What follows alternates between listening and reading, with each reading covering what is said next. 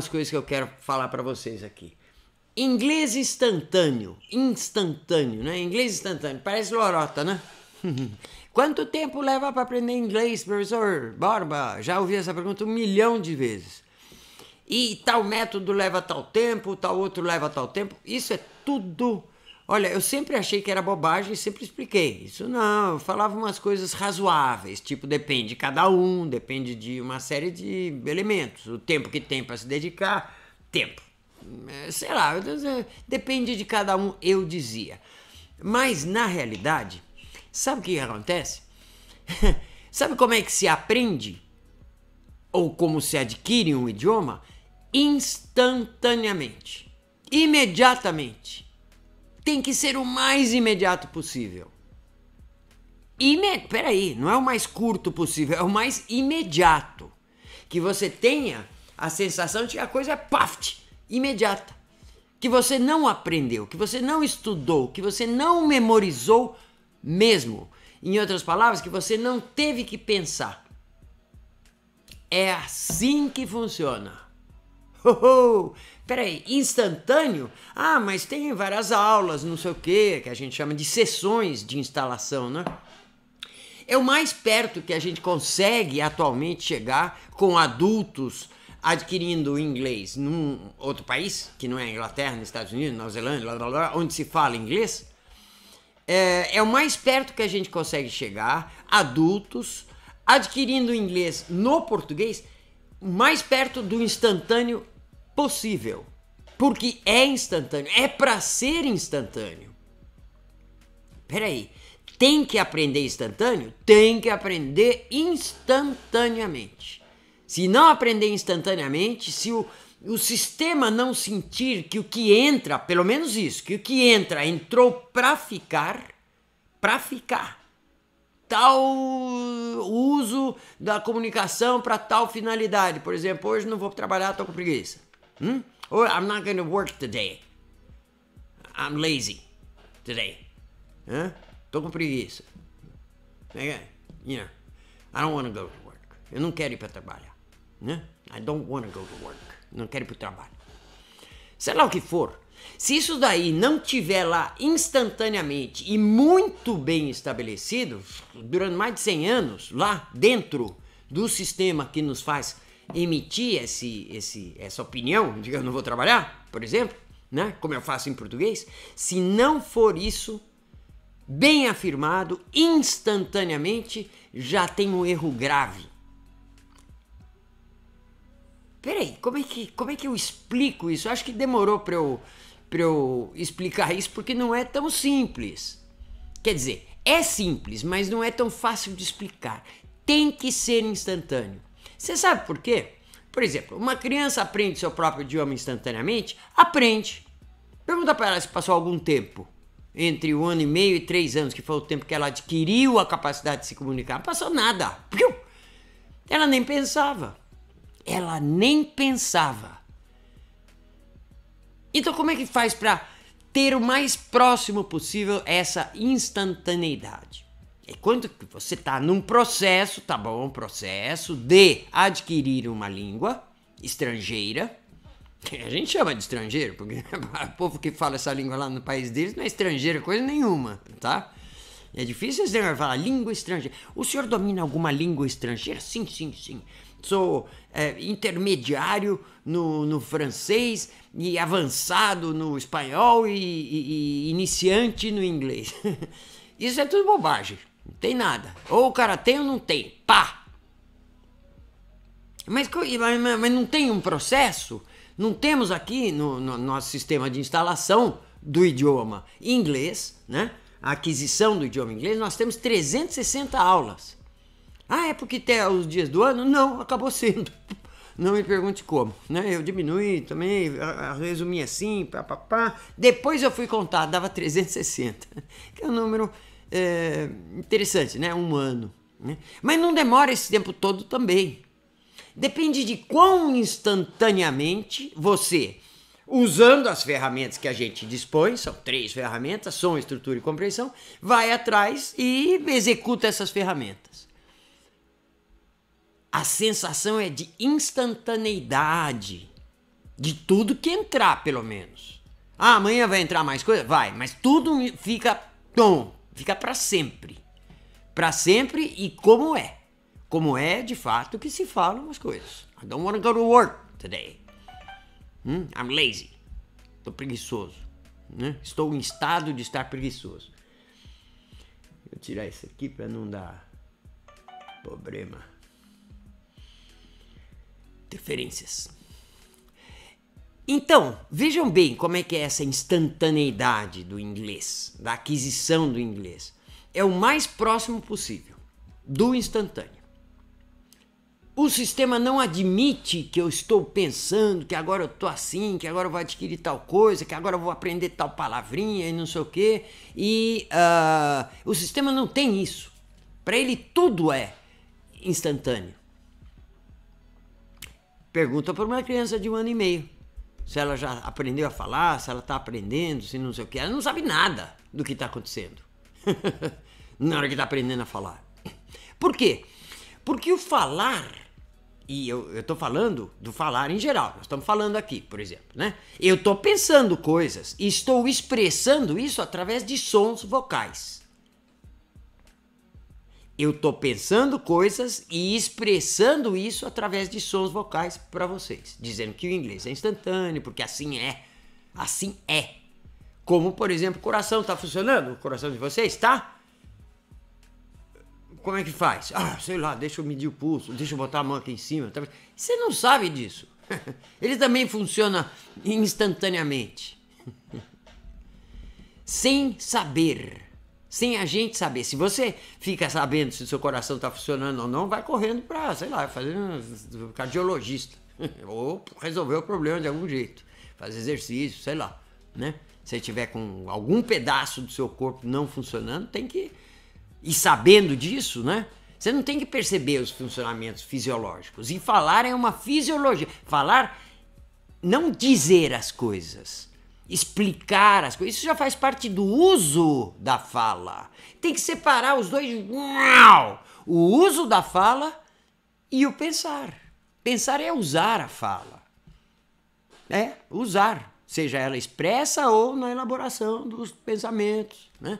Você usa elementos da fala para pensar. Elementos da fala. Depois você nem precisa mais. Tá? Já pensa sem falar em voz alta. Deixa eu ver o que, que eu vou fazer hoje. Primeiro, vou fazer tal coisa. Ou que nem criança faz às vezes para contar. O que, que vem depois do três? Deixa eu ver. Um, dois, três, quatro. Usa-se a fala para pensar. Mas não se usa na hora de adquirir a fala. Você não pode ficar pensando enquanto está adquirindo a capacidade de falar. Você pode até fazer mas não como prioridade. Em resumo, ou de uma forma que se possa entender isso claramente, os sons têm prioridade sobre o que vai dentro do som, o que cabe, que encaixa no som e que, e, que, que, é, é, é, que contém o som. Ah, perdão, que contém o significado. O som, o significado se encaixa dentro de um som. Esse som é, é o som. Não é que é certo ou que é errado, é o som onde pode encaixar aquele significado. Vocês querem falar zebra, né? Tem uma zebra por ali. Zebra. É, zebra é zebra. Zebra. Ah, é? E se eu falar zebra? Não é o bicho. Ah, mas nem, nem parecia. Não, não é o bicho. Vai para outro lado. É um código que se perdeu. Ou que foi para outro lado. Vai se entender outra coisa, inclusive em geral. Nós temos um mecanismo que faz você entender custa o que custar. Se for mais parecido com outra coisa, vá para aquele lugar lá.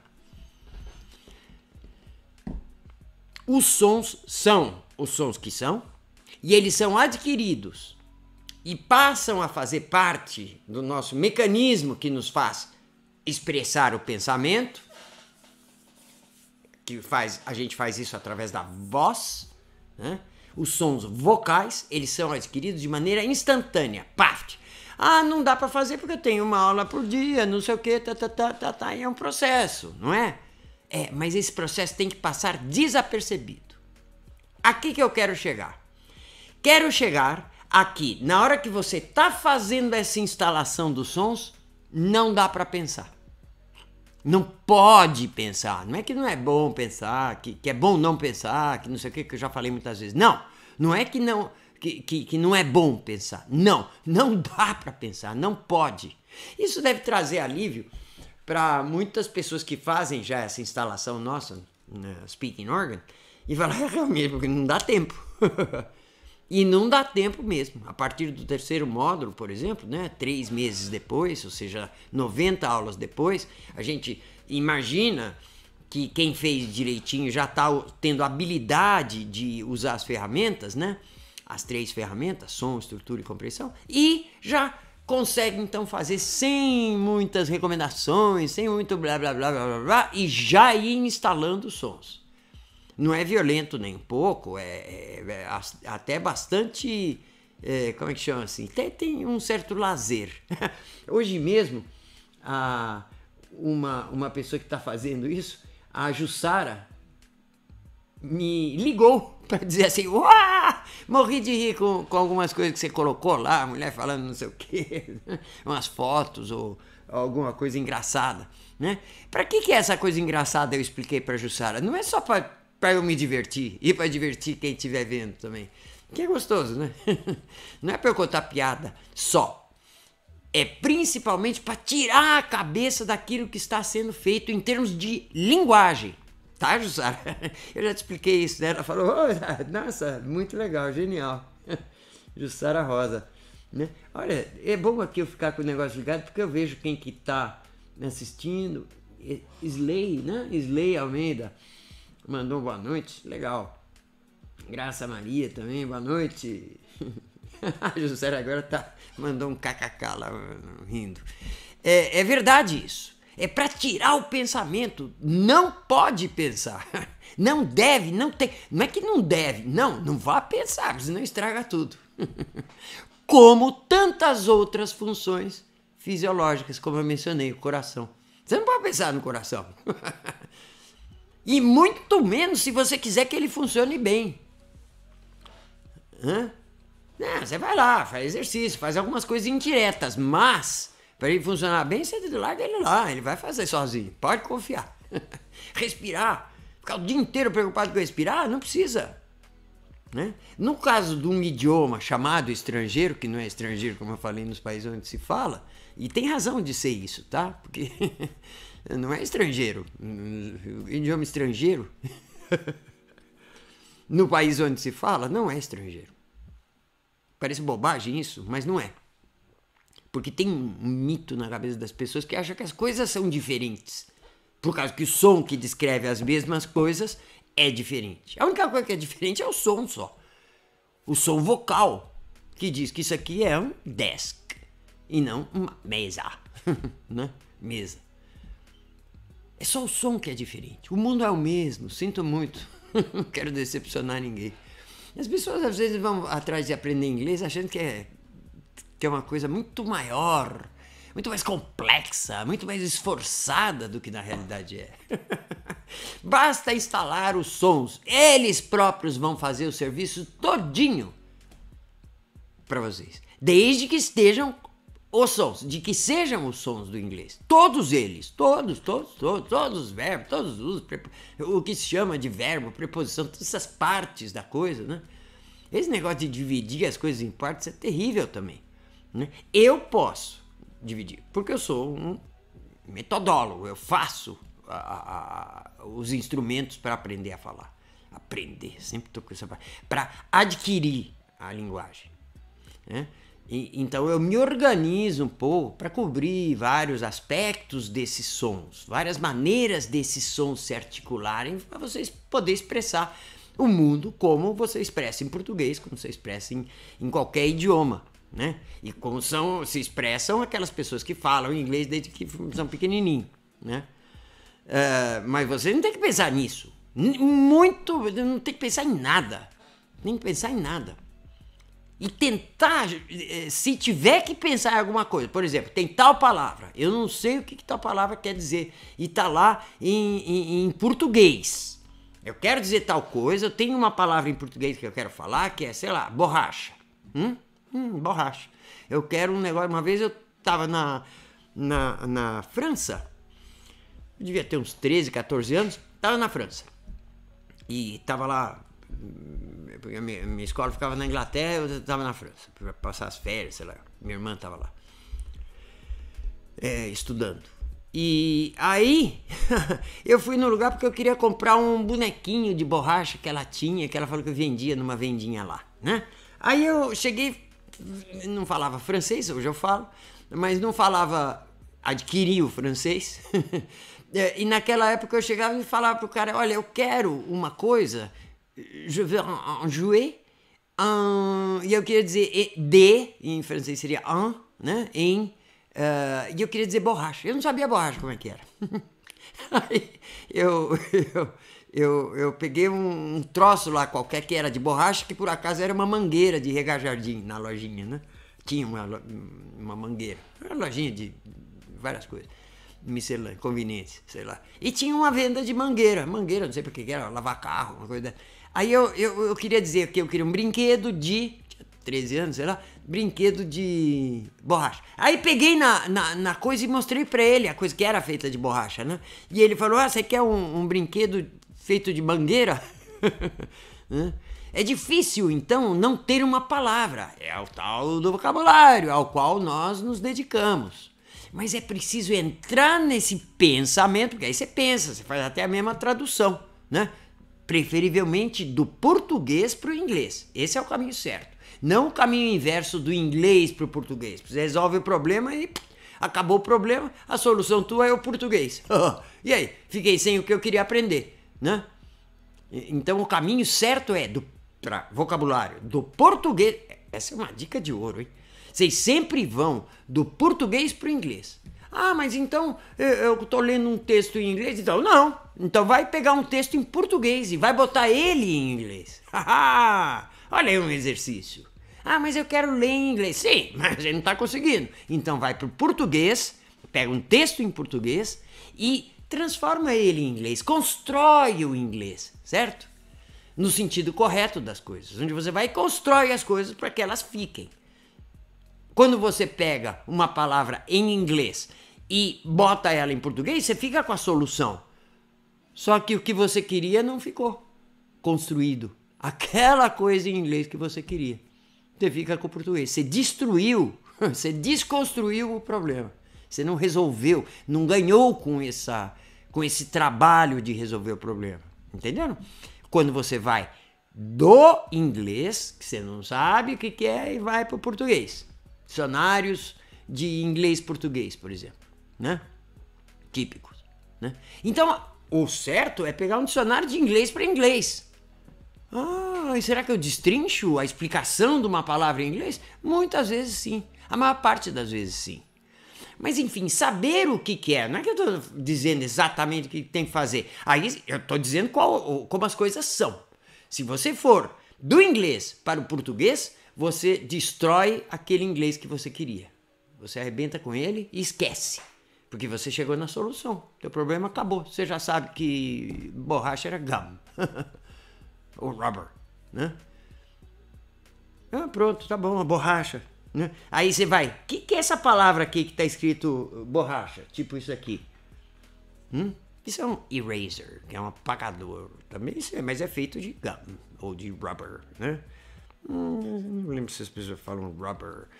Uh, mas em todo caso, rubber é esfregar, tá? E por isso que talvez chamem de rubber também. É, é, é eraser. Em todo caso, é, vamos lá de volta ao que eu estava falando, né? A coisa é feita de borracha, tá? Você quer saber o que, que é. Ah, mas você não. Você quer saber como é que fala isso aqui em inglês. Você sabe que é borracha em português. E como é que é em inglês? Vai nesse caminho. Sempre indo para o inglês, conquistando o inglês, construindo o inglês a partir de uma coisa que você já sabe. Tá? Borracha. Como é que fala isto aqui? Hum? É um marcador. Pronto. Como é que será em inglês? Não vou dizer. Mas vocês sabem. Marker. Opa. Aí você vê lá a palavra marker. Era, era marker, worker, lover, né? O que faz a coisa, né? Ama, trabalha, hum, marca. Dá para saber muita coisa pela, por essa semelhança entre as coisas, dá para saber muita coisa pelo contexto, muitos, muitas palavras pelo contexto, mas sempre chegando no inglês, nunca voltando para o português. Eu já dei exemplo disso outro dia, né, como um índio eh, brasileiro em 1500 remando para chegar em Portugal. Não vai dar certo essa viagem. O cara não está equipado para isso, infelizmente. Né? E não vai acontecer nada com ele se, se, chegar. E se chegar lá, vai morrer de gripe logo na praia. Porque não está acostumado com gripe. Né? Não tem anticorpos. Certo? É, o, o fato, temos que ir para o novo, como fez aqueles malucos lá de Portugal que vieram para o Brasil. Os italianos, os europeus invadiram a, a América. Vieram para o novo, para eles. Né? Não voltar pro velho. Voltar pro velho pra quê? Só pra né, querer é, saber coisas, pensar, né? Se enganando redondamente em relação a qual é a, a grande coisa que tem que ter. Os sons vocais do idioma que você quer aprender. É isso que você tem que ter. Os significados vêm praticamente sozinhos. Ao contrário, você não tem os sons vocais que são os que são, né? Diz que é mais ou menos, e não tem mais ou menos aqui, não tem meio certo. Não tem meio certo, assim como não tem meio anão, não tem meio grávida, não tem meio grávido, não tem nada disso, né?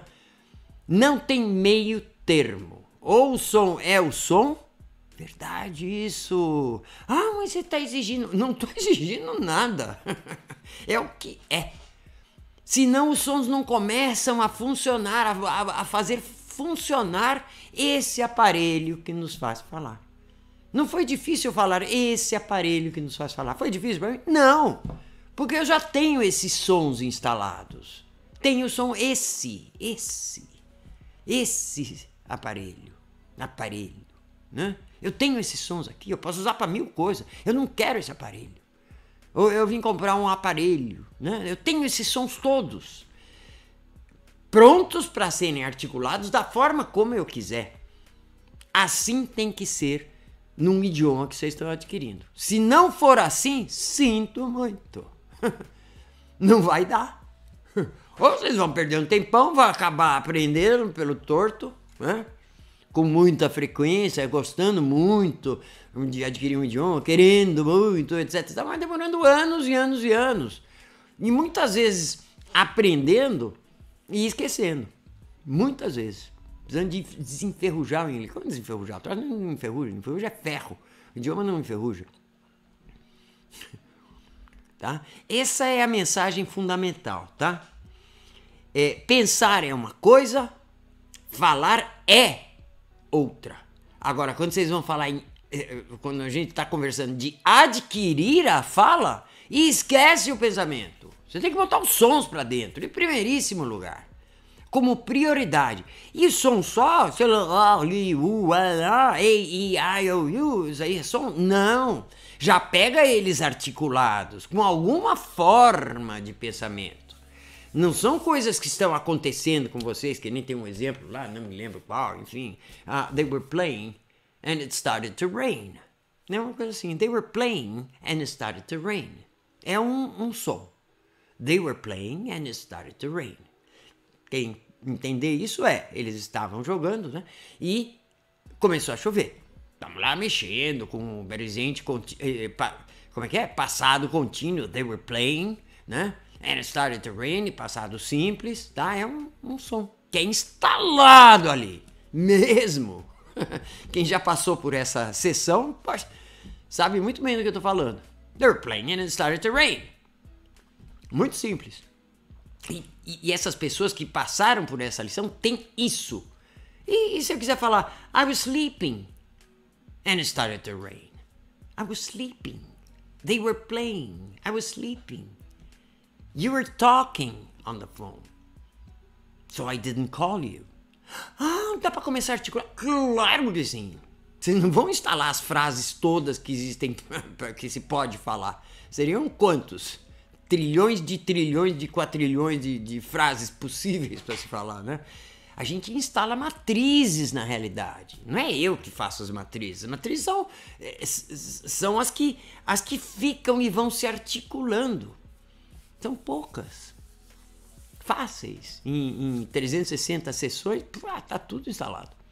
Né?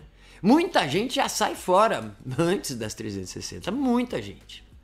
Por quê? Porque já pescou como é que, um, faz para usar as ferramentas e dois, é, já tem outros meios, usar texto do jeito certo, nunca pensando, sempre usando alguma ferramenta ou subferramenta que a gente tem, né? Por exemplo, listening, eh, como é que chama? Textless reading, né? Leitura sem texto para usar texto e sair imediatamente do texto, uau, e sair estabelecendo sons, né?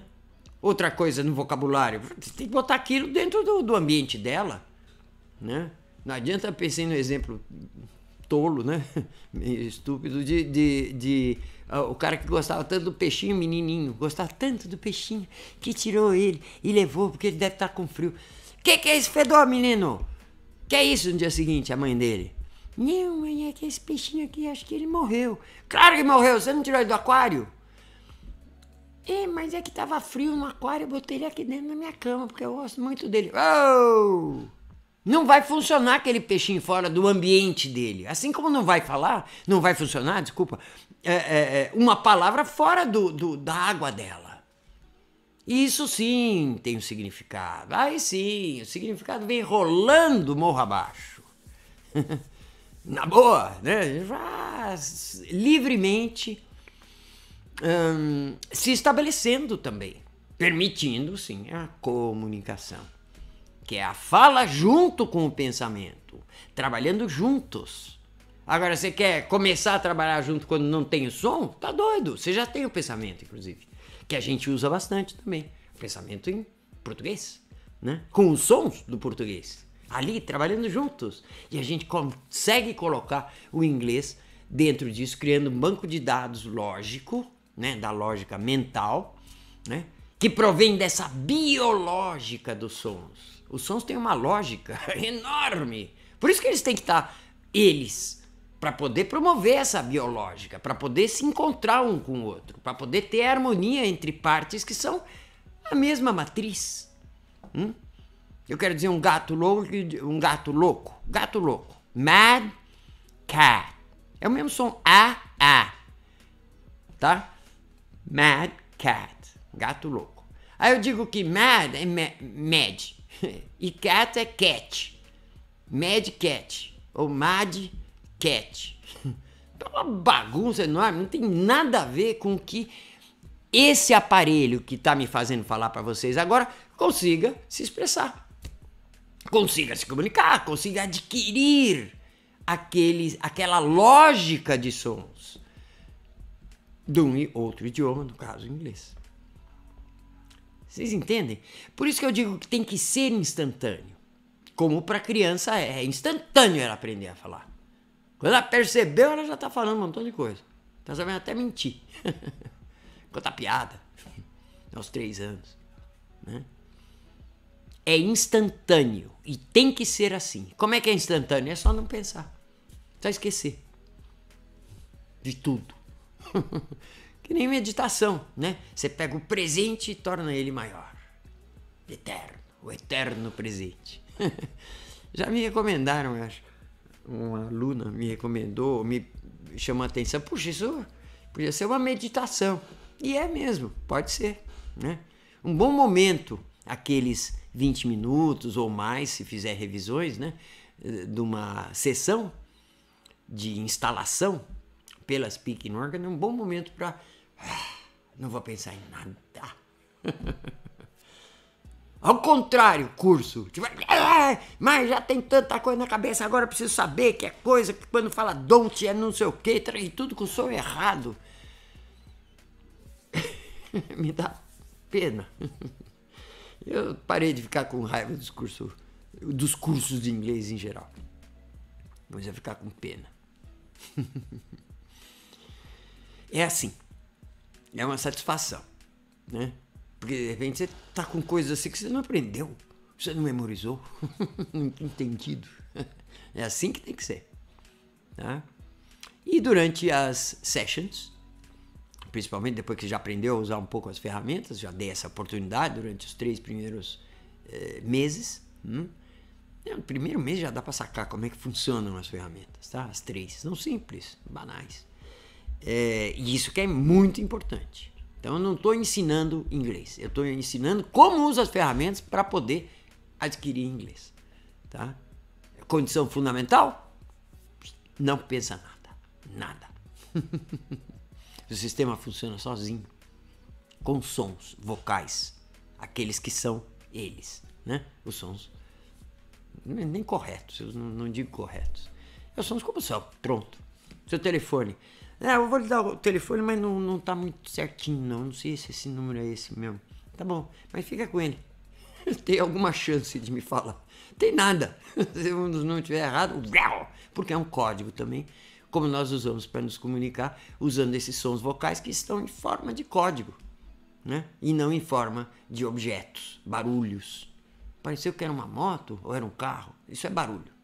Som vocal não é assim. Não tem meio certo, meio errado. Não. Ou é ele ou o sistema inteiro não começa a funcionar. Desde o comecinho. Alcance a fluência. Que alcance a fluência o quê? Tem que começar da fluência. Porque o som é fluente. Né? e é bem gostoso. Tá? Não é chato. e, e não, sou, não sou suspeito para dizer não. Senão não está fazendo isso durante tantos anos. Ok. Um abraço para vocês então e bom proveito tá bom? Deem uma olhadinha como é que funciona a coisa. Um abraço e até a próxima live que vai ter sempre alguma coisa bem, bem útil, é, sempre. Toda quinta-feira, às 21h30. É, vamos tentar ser breve para não, nessa hora não, não ocupar o, o tempo de ninguém. Mas é um tempo útil. um abraço e até quinta que vem.